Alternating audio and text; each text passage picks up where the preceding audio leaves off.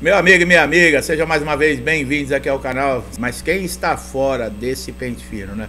Há um grupo de aposentados por invalidez e beneficiários de auxílio doença, salvo dessa revisão, tá? Promovida aí do pente fino. Está em andamento em todo o Brasil, né? Essa etapa do pente fino que vai começar no INSS. As cartas de convocação já estão chegando, tá? Para segurados aí de auxílio doença que estão há mais de dois anos sem perícia e para aposentados por invalidez com menos de 60 anos de idade. Olha aí, ó. Mas nem todos os beneficiários de auxílio doença e aposentadoria por invalidez podem ser alvo desse pente fino, tá? Isso está definido na lei número 13.457 de 2017, que definiu que as regras de revisão do INSS, tá? Quem recebe o benefício há mais de 15 anos e passou de 55 anos quem recebe auxílio doença, né? É, há mais de 15 anos também está salvo, né? Como os aposentados por invalidez acima de 60 anos. Quando que o INSS não pode cortar esses benefícios? Essa resolução ela prevê que não poderá ter corte caso o segurado, né? Não também tenha mais a documentação que apresentou na data da concessão. Porque é aquilo, né? Você fica 15 anos já recebendo benefício. Muitas vezes você mudou de casa, você guardou uma pasta, perdeu a pasta, perdeu a documentação. Não é por isso que o INSS tem o direito de chegar e, ah, não, vamos cancelar o benefício, tá? Isso acontece também porque tem há mais de 10 anos, né? A não ser, por exemplo, o INSS fala, não, a documentação que foi comprovada foi fraude, o benefício foi concedido de maneira irregular, aí tudo bem. O segurado com 60 anos de idade ou mais que ganha auxílio doença, ele pode ser chamado para o pente fino e ter o benefício cessado. Ó. Isso porque o auxílio doença tem um caráter temporário. Notaram a diferença? O, o, o, auxílio doença ele é assim. Então quem tem 60 anos pode sim ser chamado, tá?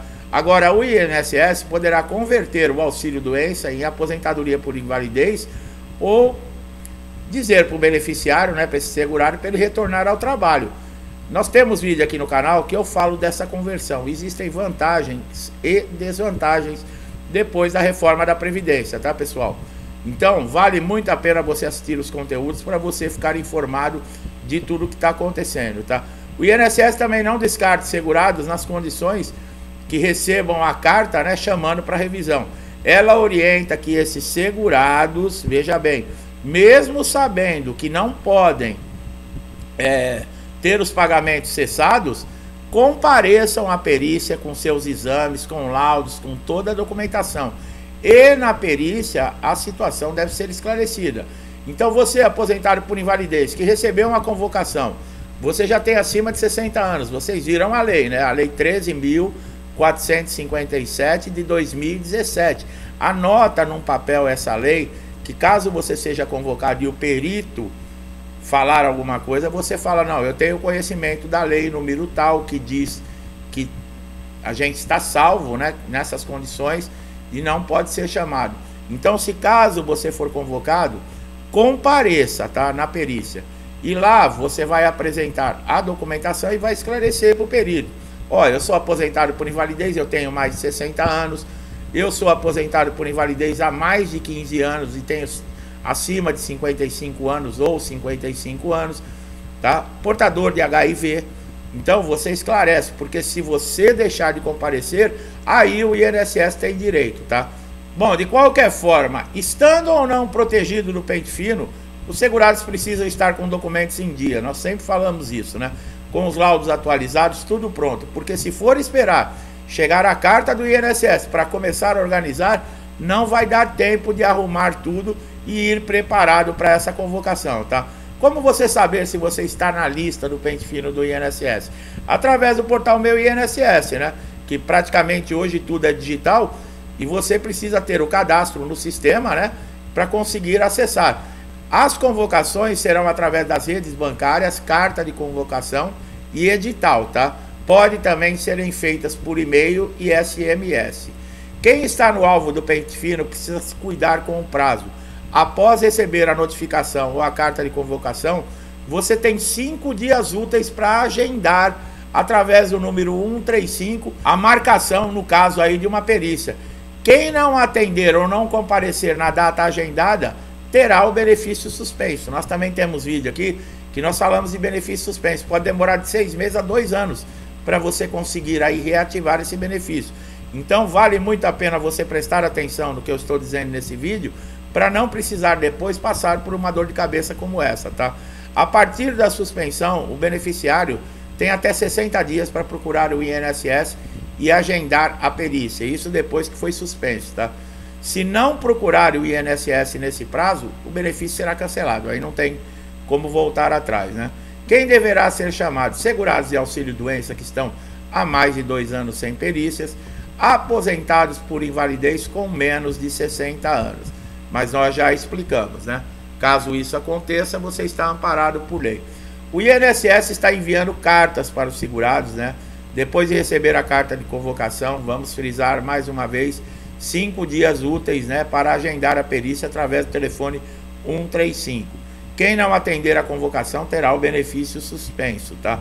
Se caso em 60 dias depois da suspensão do benefício você não der nenhuma satisfação, vai ser cancelado. Outro benefício também que está na mira do INSS é o BPC, tá? Pagamento mensal do BPC é para aí milhões né, de pessoas em todo o país.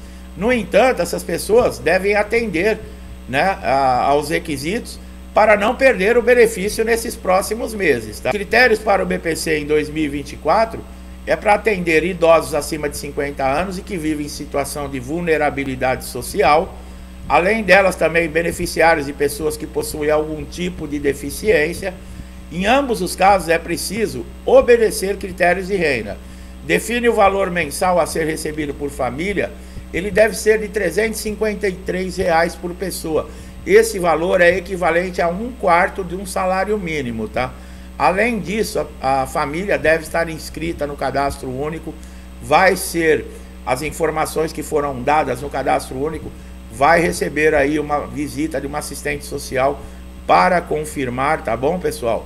Então é muito importante você comparecer no CRAS, deixar tudo em ordem, porque o BPC também está na mira aí, né, desses 10 bilhões que o governo pretende economizar aí de pagamentos e benefícios no INSS. O benefício de prestação continuada ele é pago pelo INSS para pessoas idosas acima de 65 anos, carentes e pessoas com deficiência, né? Que impeça o trabalho e são de baixa renda, tá? Para ter direito ao benefício, olha lá, prestando bastante atenção, a renda per capita, quer dizer, a renda por pessoa dentro da casa, tá? deve ser inferior a 25% do salário mínimo. Ou seja, hoje, com o salário mínimo novo de 2024, não pode ultrapassar 353 reais por pessoa para ser considerado baixa renda, tá? Para estar dentro dessa renda per capita.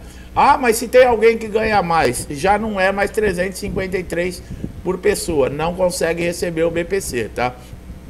Quais são as novas regras do BPC agora para 2024? Bom, a nova lei determina que pessoas com rendimento familiar igual ou a um quarto de um salário mínimo podem acessar esse benefício. As mudanças ainda garantem a abertura para concessão do BPC em casos excepcionais, né?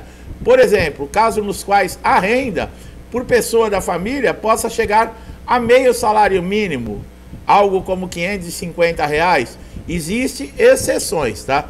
Quem recebe o BPC pode ter outro benefício? Olha aí, uma pergunta que é recorrente sempre aqui no canal, né? Eu recebo BPC, eu posso receber o auxílio doença, eu posso me aposentar? São é, dúvidas geradas, né? Como quem recebe qualquer benefício do INSS tem, por exemplo, por incapacidade, né? Bom, o BPC ele não pode ser acumulado com outro benefício do INSS nem, por exemplo, com seguro-desemprego, aposentadoria, pensão ou de outro regime, tá? A não ser com a assistência médica, pensões especiais, tá? Que são de natureza indenizatória e remuneração de contrato de aprendizado. Olha aí como tem exceções, tá? Agora ele não acumula. Se você está recebendo seguro-desemprego, você não pode receber do BPC nem aposentadoria e nem pensão, tá? Quanto tempo dura o benefício de prestação continuada? É uma dúvida muito grande, tá? O BPC, ele não possui um prazo fixo para duração, tá?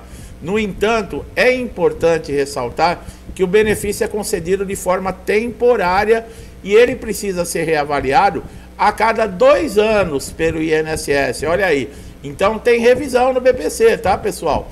Vai estar tá sempre ali de olho na documentação para ver se surgiu, por exemplo, algum dado novo e você precisa atualizar. Fique atento, tá? Não espere acontecer para depois você não ter que ficar correndo atrás e não ter um resultado e acabar passando por dificuldade, tá? Quer saber mais sobre pente fino, auxílio doença, aposentadoria por invalidez, tudo você encontra aqui no canal conteúdos que vão te alertar, te orientar, te dar conhecimento e esclarecimento. Para você que está chegando aqui a primeira vez no canal, seja muito bem-vindo. Como eu acabei de falar, aproveite mais de 1.800 conteúdos, tá? Tudo relacionado a INSS, não paga nada. Gostou aqui do nosso vídeo? Dá um like, compartilhe se inscreva no canal, ative o sininho de notificação para você ser sempre notificado com novas atualizações. Meu amigo e minha amiga, muitos que me acompanham há muito tempo, eu não canso de agradecer, que Deus abençoe sua casa, sua vida, sua família com paz, saúde, prosperidade, amor, harmonia. Tudo que eu desejo para mim, eu desejo em dobro a todos vocês.